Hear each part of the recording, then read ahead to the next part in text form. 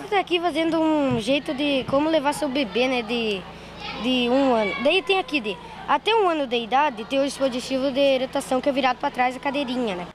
As atividades foram realizadas no posto da Polícia Rodoviária Estadual do Rio Pinheiro, em Mariópolis. As crianças de uma escola pública de Pato Branco distribuíram panfletos e deixaram orientações para os motoristas que passavam sobre comportamentos no trânsito. Um convite que a escola, né, juntamente com a policial Elisângela, que trabalha o ProERD, é, trouxe então as crianças até aqui para hoje viverem um dia de policial e para também poderem é, perceber e viver na prática as leis de trânsito.